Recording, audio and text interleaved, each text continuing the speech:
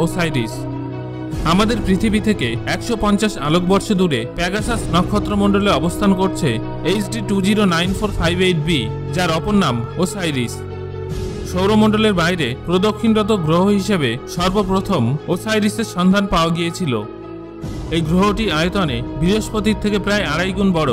কিন্তু অদ্ভুত ব্যাপার হলো, এর কক্ষপথের ব্যাস মাত্র সাত মিলিয়ন কিলোমিটার। যা সৌরমণ্ডলে সূর্যের সবথেকে কাছে অবস্থিত বুধের কক্ষপথের আট ভাগের এক ভাগ। এত কম ব্যাসের জন্য এই গ্রহের এক বছর পৃথিবীর সাড়ে তিন দিনের সমান।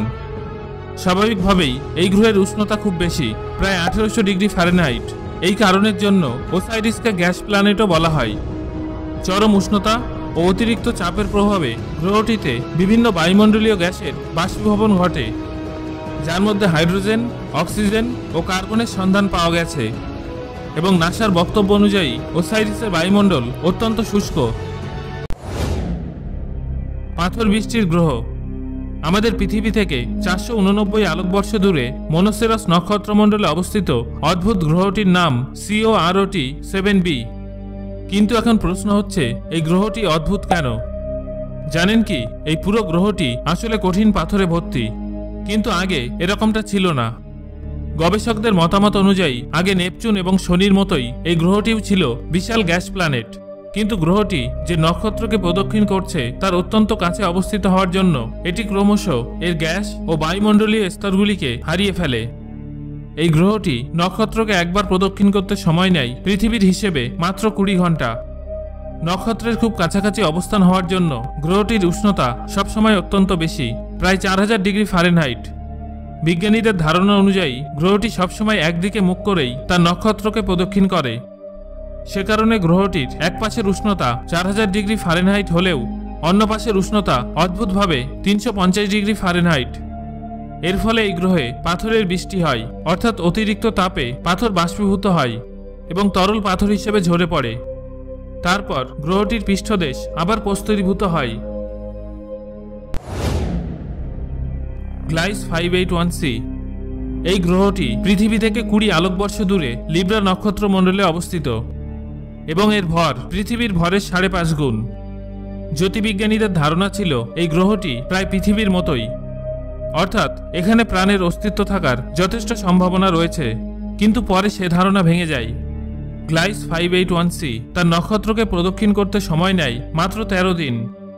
এর কক্ষপথের ব্যাসার্ধ পৃথিবীর কক্ষপথের ব্যাসার্ধের মাত্র সাত শতাংশ।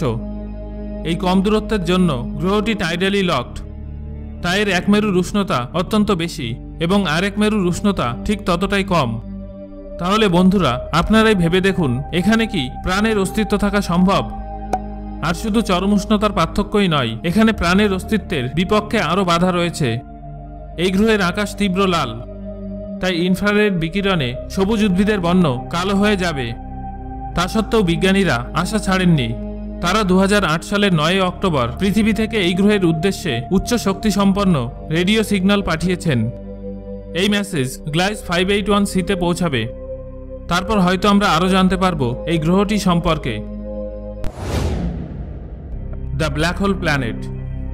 আমাদের সৌরমণ্ডল থেকে সাতশো পঞ্চাশ আলোকবর্ষ দূরে অবস্থিত ট্রিস টুবির অপর নাম অন্ধকারাচ্ছন্ন গ্রহ। কেননা এই গ্রহটি আলোক রশ্মিকে প্রতিফলিত করতে পারে না। যতটুকু আলো এই গ্রহটিতে পৌঁছায়, তার মাত্র এক শতাংশ আলো গ্রহটি প্রতিফলিত করে।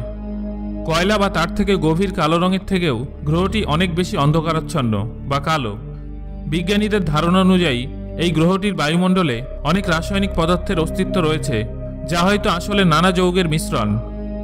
যাই হোক অদ্ভুতভাবে আঠারোশো ডিগ্রি ফারেনহাইট উষ্ণতায় এই গ্রহ থেকে একটি দৃশ্যমান, সামান্য ফ্যাকাশে আলোকছটা বের হয়। গ্রহটির ভর ও আকার একেবারে বৃহস্পতির মতো। কিন্তু বৃহস্পতি যতটা উজ্জ্বল ও বর্ণময়, ট্রিস টুবি ঠিক ততটাই অন্ধকারাচ্ছন্ন। এই কারণে একে ব্ল্যাক হোল প্ল্যানেট বলা হয়। দ্য লোনলিয়েস্ট প্ল্যানেট, একাকী গ্রহ। HD one zero six nine zero six B, এর অপর নাম হল দ্য লোনলিয়েস্ট প্ল্যানেট, কারণ এই গ্রহটি এর নক্ষত্রের থেকে প্রায় ছ হাজার কোটি মাইল দূরে অবস্থিত, যা সূর্য থেকে নেপচুনের দূরত্বের কুড়ি গুণেরও বেশি। পৃথিবী থেকে এই গ্রহের দূরত্ব প্রায় তিনশো আলোকবর্ষ। গ্রহটি আকারে বৃহস্পতির থেকে প্রায় এগারো গুণ বড়। কিন্তু নক্ষত্র থেকে এত দূরত্বের কারণে গ্রহটির গঠন সঠিকভাবে সম্পন্ন হয়নি। এত দূরত্ব হওয়া সত্ত্বেও গ্রহটির বায়ুমণ্ডল কিন্তু ভীষণ উষ্ণ। এর উষ্ণতা প্রায় আঠেরোশো ডিগ্রি ফারেনহাইট। তবে বিজ্ঞানীরা এই গ্রহটিকে এ ফেল্ড প্ল্যানেটের আখ্যা দিয়েছেন। জানলে অবাক হবেন, এই গ্রহটি তার নক্ষত্রের চারদিকে এক পাক ঘুরে আসতে সময় নেয় পৃথিবীর হিসেবে তিন হাজার বছরেরও বেশি। অসংখ্য বলয় সম্বলিত গ্রহ। যে one four zero seven B গ্রহটি দু হাজার বারো সালে আবিষ্কৃত হয়েছে।